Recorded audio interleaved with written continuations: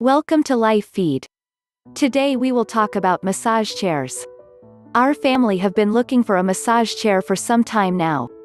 My mother not only has cancer of the spine but it has spread to her hip and if that wasn't enough she has cervical spondylitis in her neck and shoulder too.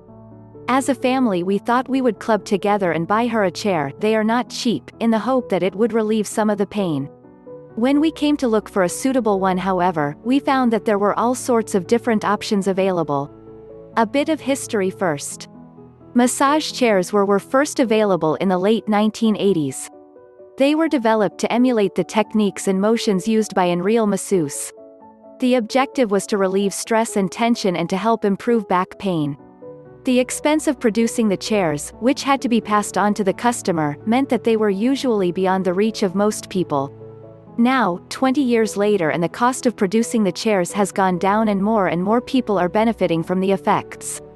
Massage chairs attempt to recreate two types of techniques, shiatsu and Swedish massage. These two techniques are quite different. Shiatsu tends to use pressing, sweeping, patting and rotating movements. It focuses on releasing tension in specific areas of the body to restore blood circulation, muscle structure and benefit internal organs too. Swedish massage uses long gliding strokes and kneading motions and has the most effect on restoring the circulation and helping to allow muscles to relax too. You will find a number of options available when purchasing a massage chair. At the luxury end of the market, the chairs have at least two rollers each in the back, legs and arms, some have four. The chairs adjust to the size of the person sitting in the chair and automatically detect acupressure points that will be specifically worked on. These very expensive massage chairs actually memorize the shape of the person sitting in the chair and then develop programs of massage for specific areas of the body. It will memorize these programs so that they can be reproduced whenever that person sits in the chair again. The downside of these very expensive, leather-covered chairs, is that they are huge and not for the normal-sized room. Other things to look out for. Some chairs have airbags in the leg area, these are not beneficial unless there are motors to roll and knead the legs.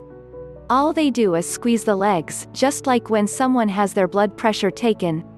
It might have arm massagers, claws or air cuffs, not only do these make the chair look bulky, there is no proof that they do anything other than squeeze the forearm. Be careful because a massage chair isn't necessarily going to be a benefit to you. Make sure that you read the article Massage Chairs, the pros and cons before making any decisions. You will find a link to it at the bottom of this article. What did we chose in the end? We bought a simple chair that just had wooden arms and could recline electronically. The programmer was easy to read and use. In the upright position it also helped my mother to get out of the chair.